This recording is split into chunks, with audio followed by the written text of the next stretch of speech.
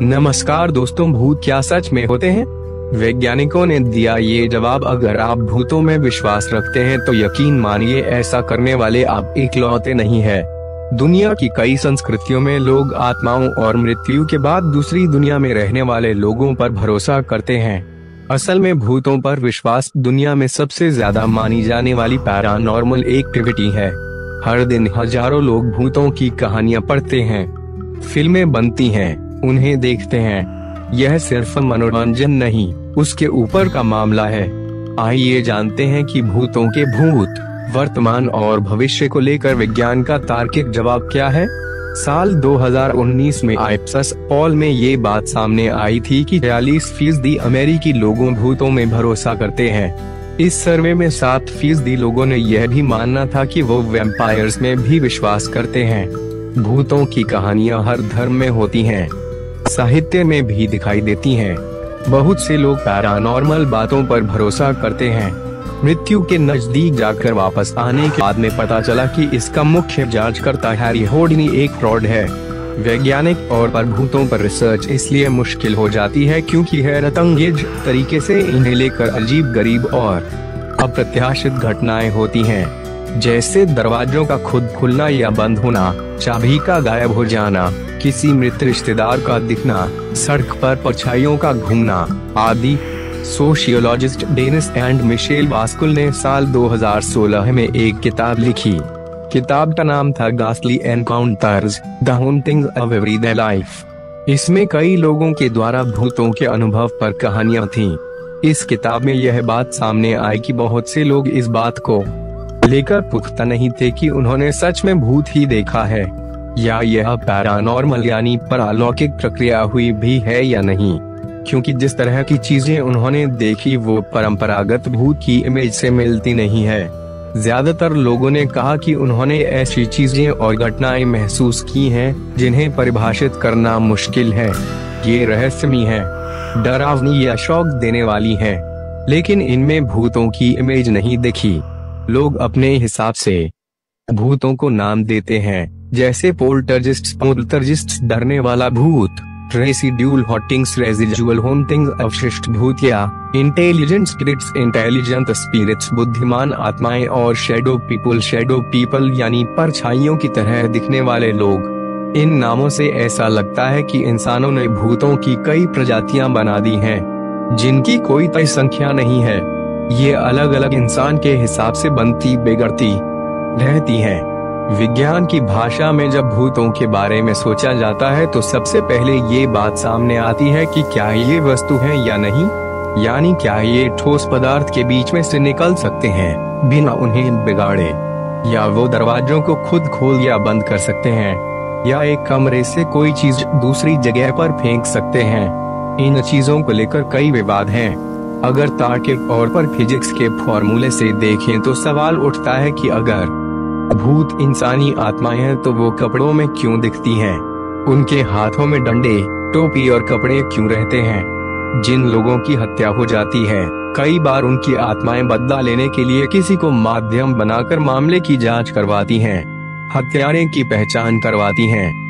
लेकिन ये सच है या नहीं इस पर सवाल बने हुए हैं क्योंकि भूतों को लेकर कोई तार्किक वजह नहीं है भूतों को पकड़ने या मारने वाले यानी हंटर्स हंटर्स अलग अलग तरीके अपनाते हैं, ताकि भूतों, आत्माओं की मौजूदगी का पता कर सके।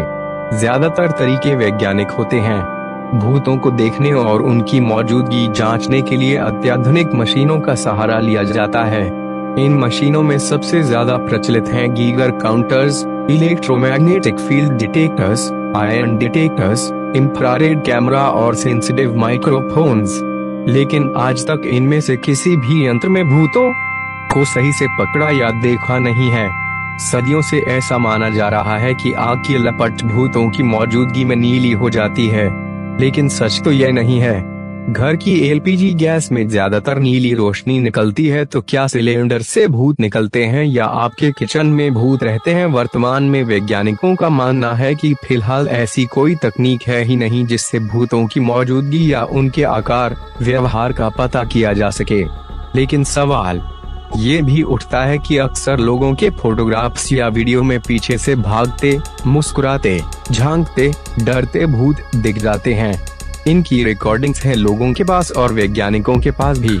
इनकी आवाजों की रिकॉर्डिंग्स भी लोगों के पास हैं। अगर भूत होते हैं तो वैज्ञानिकों को इनकी जाँच करने के लिए पुख्ता सबूत की ज़रूरत है, जो फ़िलहाल नहीं है। अब तो स्मार्टफोन्स में घोस्ट एप्स घोस्ट एप्स भी आ गए हैं, जिनके ज़रिए आप डरावनी तस्वीरें तैयार कर सकते हैं। उन्हें सोशल मीडिया पर डाल सकते हैं। इनसे आप एक काल्पनिक कहानी को असली घटना बताकर पेश कर सकते हैं, जिससे भूतों पर भरोसा और बढ़ता है। लेकिन वैज्ञानिक तरीके से रिसर्च करने पर इसका खुलासा हो जाता है कि आपने एप के भूतों का साथ लेकर लोगों से घपला किया है। आखिरकार लोगों का भूतों पर भरोसा क्यों है? महान वैज्ञानिक एल्बर्ट आइंस्टीन ने भूतों की मौजूदगी पर आधुनिक फिजिक्स की एक थ्योरी दी थी। ये था थर्मोडायनेमिक्स का पहला नियम। यानी ऊर्जा न तो बनाई जा सकती है, न ही बिगाड़ी जा सकती है। ये सिर्फ़ अपना स्वरूप बदल सकती है।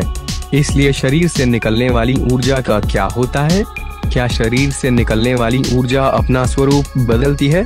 क्या मरने के बाद शरीर की ऊर्जा खत्म हो जाती है? ये कहीं छोड़ दिया जाता है। उनका अंतिम संस्कार नहीं होता। वो कीड़े मकोड़े, मृत शरीर खाने वाले जीवों और पेड़ पौधों का भोजन बन जाते हैं। ऐसी कोई शारीरिक ऊर्जा नहीं है जो मरने के बाद सरवाइव कर जाए या फिर वे आपके शरीर में रहे। इसे कोई भी भूत पकड़ने वाला ओझा तांत्रिक या घोस्ट हंटर न देख सकता है, न रोक सकता है। ऐसे लोग खुद को सुपरनेचुरल मान लेते हैं। ये जानबूझकर ऐसा ड्रामा करते हैं कि जैसे इन्होंने भूतों को देखा हो या उसे पकड़ लिया हो क्योंकि किसी शरीर से निकलने वाली ऊर्जा इस ब्रह्मांड में इतनी छोटी और कम मात्रा में होती है कि वो पकड़ में नहीं आती। ऐसी ऊर्जाओं की हमारे पर्यावरण में कमी नहीं है। भूत असल में होते हैं या नहीं? ये सिर्फ़ ऊर्जा होते हैं या फिर कुछ और? इसे लेकर वैज्ञानिक तौर पर कुछ भी नहीं खोजा गया है। इनके लिए नियंत्रित माहौल में प्रयोग करने की ज़रूरत है। लेकिन उन लोगों के मदद की ज़रूरत नहीं है जो खुद को घोस्ट हंटर, ओझा, तांत्रिक कहकर लोगों को बेवकूफ़ बनाते हैं। लाखों तस्वीरों, वीडियो और ऑडियो होने के बावजूद आज तक घोस्ट हंटर्स इन्हें पकड़ या देख क्यों नहीं पाए? इसके पीछे दो वजह हो सकती है। पहली, कि भूत होते नहीं है। ये सिर्फ़ लोगों के दिमाग का वहम है। दूसरा, ये कि भूत होते हैं, लेकिन हमारे पास वैज्ञानिक और तरीके नहीं हैं, जो इनकी मौजूदगी को पुख्ता कर सके। आपको यह रोचक वीडियो कैसी लगी हमको कमेंट बॉक्स में ज़रूर बताएँ। आपका दिल की गहराइयों से धन्यवाद। और ऐसे ही मज़ेदार रोचक वीडियो देखने के लिए चैनल को सब्सक्राइब ज़रूर कर लें।